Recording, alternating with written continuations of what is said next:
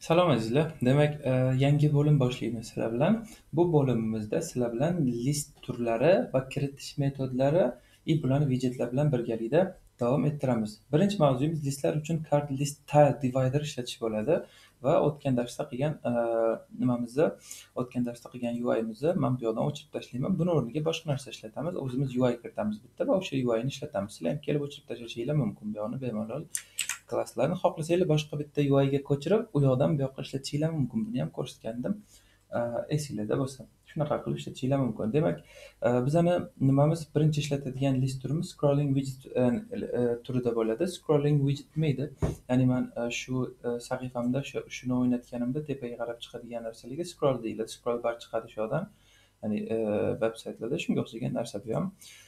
Demak, eh, scrolling widjetlarni internetdan ko'rishinglar mumkin. Men eh, qarab ko'raman. Agar bo'lsa ko'rsataman. VPN bilan ishlaydigan bo'lsa, kelasi darsga eh, ko'rsatib o'taman. Scrolling widgets Flutter ko'rganingizdek chiqib keldi o'zi. Bu yoqdan shunga kirsanglar agar ochilsa sayti, yo'q albatta ochilmaydi, chunki bu VPN talab qiladi. Lekin sizlar ishlatishinglar mumkin VPN bilan birgalikda, bilasizlar. Xo'p, e, qarab o'tirmaymiz. Agar rasmi bo'lsa, rasmdan ko'rsatib ketishga harakat qilaman. E, shu ko'rib turganinglar widjet shunaqa holatda tayyorlash yoki bunaqa holatda tayyorlash va hokazo widgetlarni list ko'rinishida kiritish. Shunday ham chiroyli qilib tushuntirilgan ekan. Bu yoqda nimada yozilgan? YouTube'dami, Medium'dami e, ma'lumot bor. Qaranglar, Develop Paper saytida bu yoqda chiroyli ma'lumot berilgan ekan. Silver App Bar, Silver Persistence persistent header ekan silver filter meaning silver to, uh, to box adapters silver padding. Bu padding kiritish uchun bu app barini kiritish uchun va hokazo ma'lumotlarni kiritib ketgan shu yoqda bu yoqda warm up qilishgan ekan. Uh, kod yozib shu kodlarni copy paste qilib ishlatishinglar mumkin xohlasanglar. Man qo'limdan kelgancha tushuntirishga harakat qilaman. Qaranglar bu yoqda ham ma'lumot topdik biza. Juda chiroyli qilishibdi bu yoqda qaranglar. Biz ham shunga o'xshagan bitta list chiqaramiz. Xuddi shunaqa bo'ladi bizaniki ham. Bularni uh, listlar orqali kiritishadi. Listlar orqali kiritishga harakat qilamiz biz ham. Demak, birinchi navbatda bu e, nimani kiritganinglardan keyin e, buni o'chirib tashlaganinglardan keyin albatta nima yozishinglar kerak bu yoqda homeni home ichida e, app barimizni kiritib ketishimiz mumkin. Bu yoqda xohlaganinglardek tema tanlanglar. Farqi misol tariqasida o'zgarish bo'lsin. Bugun orange qilaylik. Orange. Buni ozgina katta qilishimiz kerak albatta, sizga ko'rinsin. okey menimcha bo'ladi. Undan keyin material appni ichiga kiritdik. Theme datani primary swatch deb rangini belgiladik. Hali ishlatishimiz shart mana Shu yoqda title qismini menimcha keragi yo'q. Bu yoqda home sifatida my home page kiritgan edik. Pastda class esinglarda biz shu klassni o'chirib tashlashim kerak. shuncha katta app bar kiritib ketaman men buni ichiga. Shu yoqda agar belgilay olsam shu yoqda shuni o'chirib tashlab scaffold yozishimiz kerak birinchi navbatda bilasizlar. Mana scaffoldimiz va bu scaffoldni ichida sekin ishlayapti. Okey, hech chiqisi yo'q. Scaffoldni ichida nima yozishimiz kerak biza? App bar kiritishimiz kerak. App bar va katta harf bilan boshlab app bar kiritganinglarda buni ichida title sifatida nima kiritishinglar mumkin edi? Text widgetdan turatilgan xohlagan listinglarni kiritishinglar mumkin edi. Misol tariqasida bu listlar deb ketaman. Listlar application application Xo'p, buni bitta sozda o'ylaylik. Shu yoqdan albatta nimadir bosib qo'ydim, lekin e'tibor qilmaylik. Shu yoqdan bitta virgul qoldirib, shunga bitta bossanglar. Okey, hammasi joyida. Home kiritdik, scaffold ichida app bor, ichida title. Buni ishlatishga harakat qilamiz. Albatta buni hali e, nimasini kiritganimiz yo'q biza, badiiy qismini kiritganimiz yo'q. Shuning uchun bombosh chiqadi. Xohlasanglar shu yoqda debug modda o'chirib qo'yishimiz mumkin. Debug modda o'chirish uchun shu yoqda yozsak bo'ladimi? E, debug check Bu nimaga chiqmayapti bu yoqda? Debug check modni o'chirib qo'ymoqchi. Albatta biza tashqariga chiqib ketdimiz, aytib bermaysizlar. Debug buni false qilishimiz yetadi. Debug show check mod banneri false qilsanglar mana bunisi ketadi deysizlar debsa, shuni ishlatib ko'raylikchi. Ko'rganinglarda ishladi, ketdi. Xo'p, endi nima qilishimiz kerak? Biz body yozishimiz kerak va bodyimizni boshqa sahifamizda yozishimiz mumkin deysizlar debsa, shu yerda body kirib ketaman. Buni nima qilishimiz mumkin? Misol uchun list mavzulari mavzulari tushuntirish yoki midlist mavzularini o'zini yozib ketaman. Buni ichida shunday parametr belgisini yozsak bo'lgani. Bu yoqda nima uchun menga qizyapti? Sababi bu yoqda man app barni ichida yozib qo'ydim. Buni appga bermaysizlar. Shu man ozgina chalg'itdi Shu yoqdan yozishimiz kerak edi. Body'sini yozdim va listlar mavzusi dedim. Listlar mavzusi degan narsa yo'q hali. Buni sanki yangi bitta klass kiritasanmi deyapti. Yangi bitta klass kiritib o'tirmayman. Man uini ichida yangi package yozamiz, ya'ni dars faylini yozamiz. Bu bizning klassimiz bo'ladi va buni ismini xuddi shu pastdagidek kiritishimiz kerak. List mavzulari deb list mavzulari ya'ni shunaqa kiritishinglar shart emas shunchaki ismi katta bilan boshlanganda biza klassligini bilib olardik esinglarda bo'lsa xuddi shunaqa qilib kiritsanglar bo'lgan buni kiritdim keyin kelib shunga bitta ustiga bosib turib shu tugmaga bossanglar adashmasam klassini kiritardi lekin kiritmadi shu yoqdan kelinglar import qilib olamiz import dedim nima deymiz list mavzulari list albatta uini ichida bo'ladi. Uini ichida. Qaranglar e, li deb yozganimdan o'zi kelib chiqadi. Buni man e, bu yoqdan nima qildim import qildim va endi shu ishlashni boshlaydi albatta. Buni ichini to'ldirganimdan keyin. Buni ichida biz listlarni ishlatishga harakat qilamiz. Faqat birinchi navbatda material nima qilishimiz kerak import qilib olishimiz kerak. Material deb yozsanglar shundoq ham chiqib keladi. Buni import qilgandan keyin bitta klass yozishimiz mumkin va klassimiz nima bo'ladi.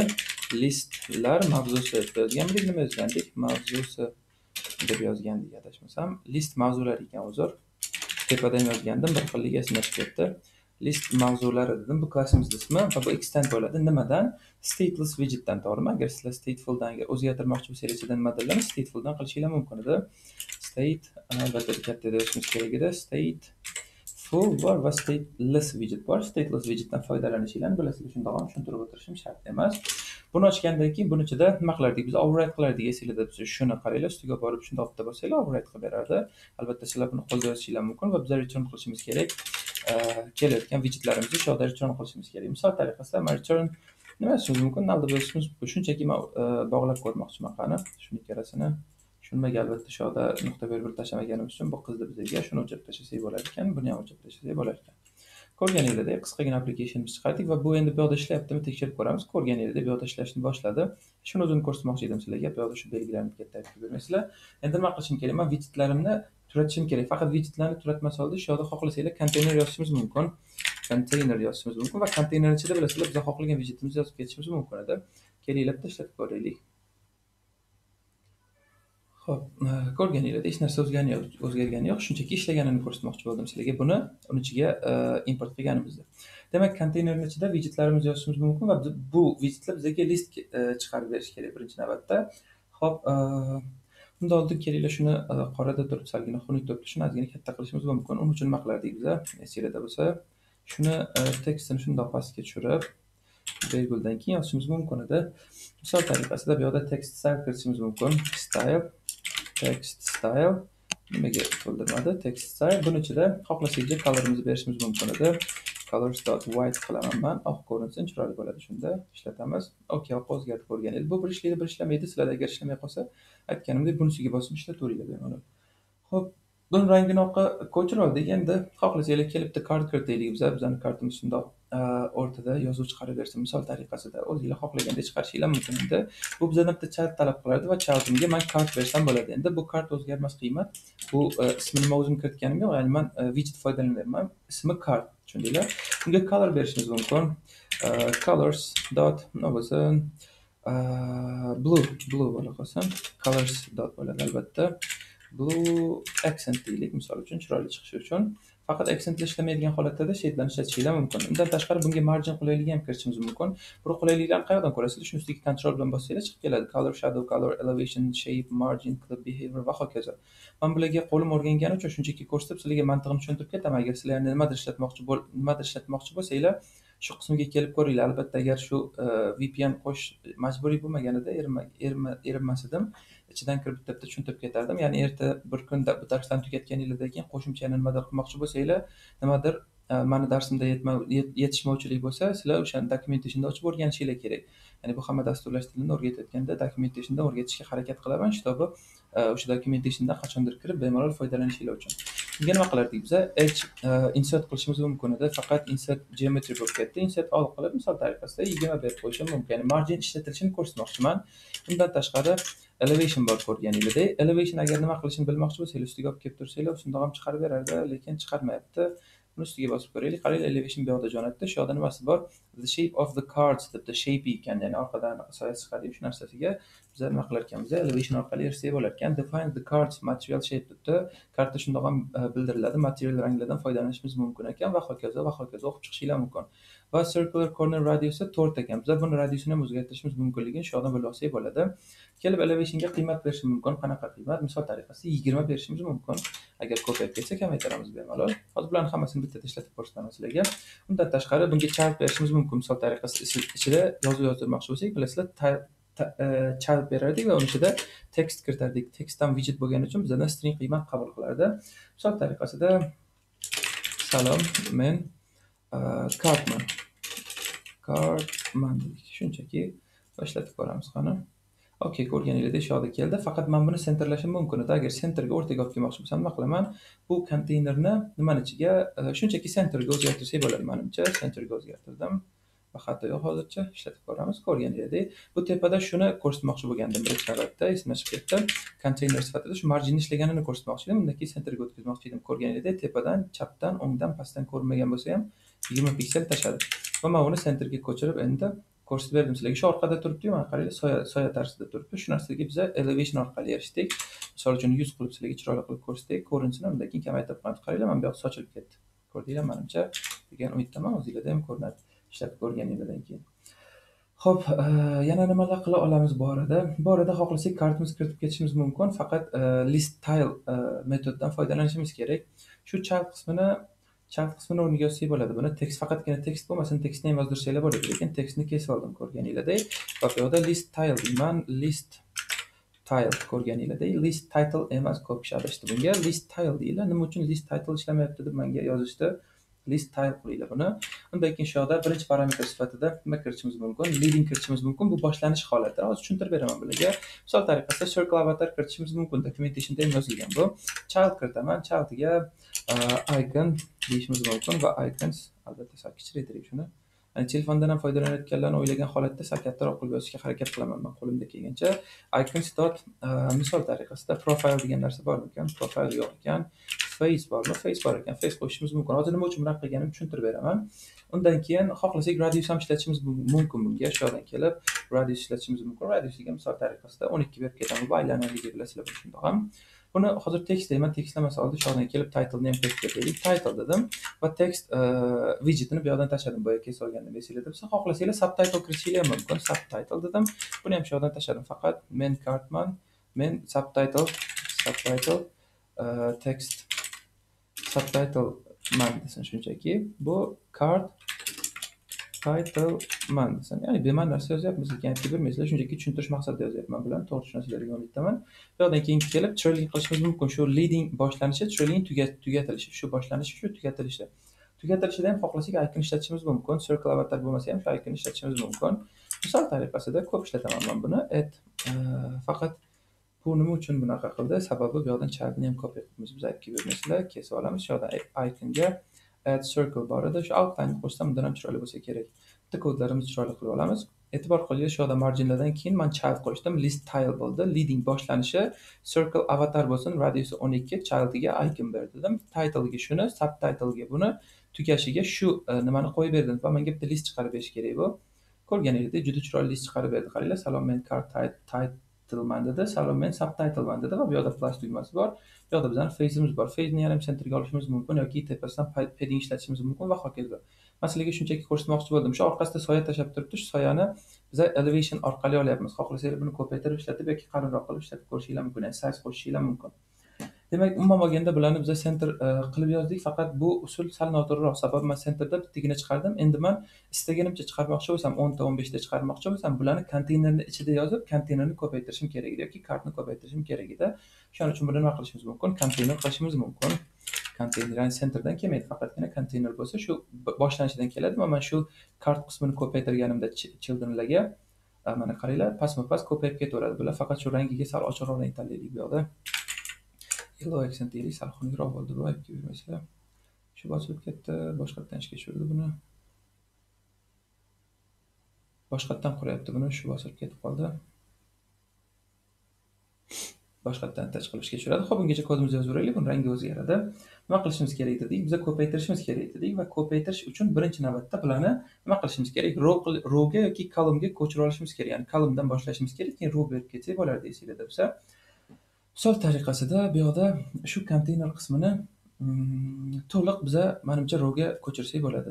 To'liq rowga ko'chira olamiz tekshirib ko'ramiz. Shuni shu yoqda nima yozishimiz mumkin kolumn yozishimiz mumkin. Kolumn bo'ladi va kolumn ichida nima olardi? Childrenlar olardi esinglarda bo'lsa. Shu yoqda children qaranglar va widget sifatida man kolumnlarni mana bu konteynerni berib ketsam bo'lardi. Konteyner shu yoqda yopilgan shuni shundoq kesib shuni ichiga tashlasam bo'ladi. Faqat nuqtali vergul emas.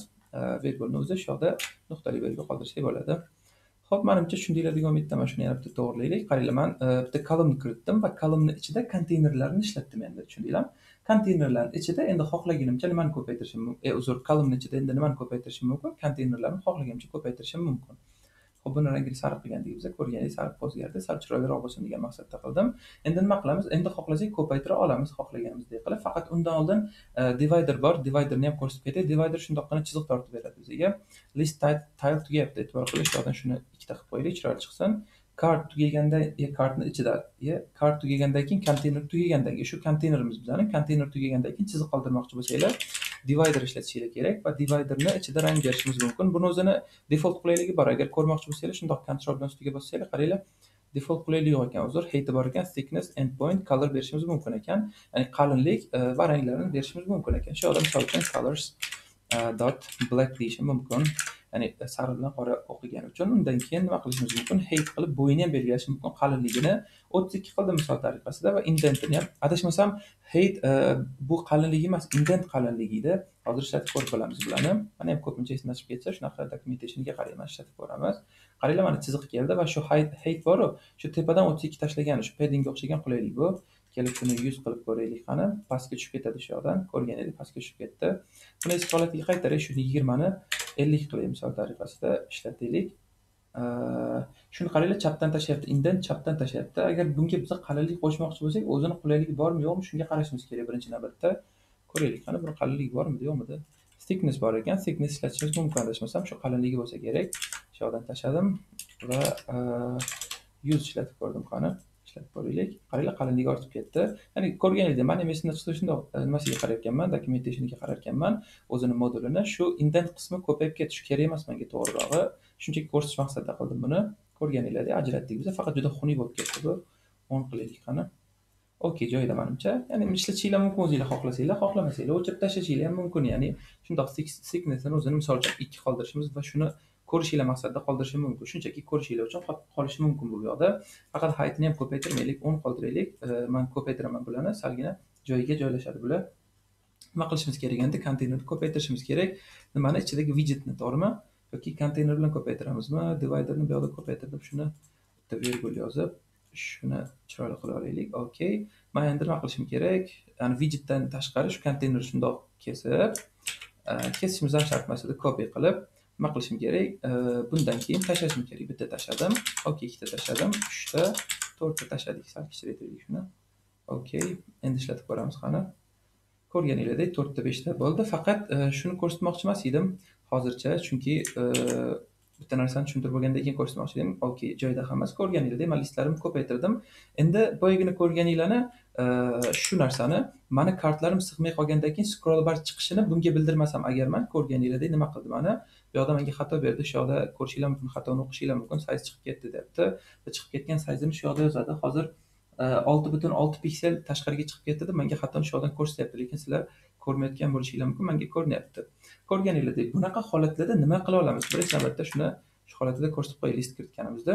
Endi agar ko'payib ketgan holatlari bo'lsa nima kiritishimiz kerak? Ko'payib ketgan holatlarda biz scroll bar kiritishimiz kerak va scroll bar orqali nima qilishimiz mumkin? Xatoyimizni to'g'irlashimiz mumkin ekan. Buning uchun e, biza faqat bu darsda emas kelasi darsda tushuntiraman chunki video shundoq uzayib ketdi. Kelasi darsda shu ishlatgan widjetlarimizda ya'ni kiritgan listlarimizda toshib ketgan holatlari bo'ladigan bo'lsa qanaqa qilib e, porядка qilamiz shuni ko'rishga harakat qilamiz.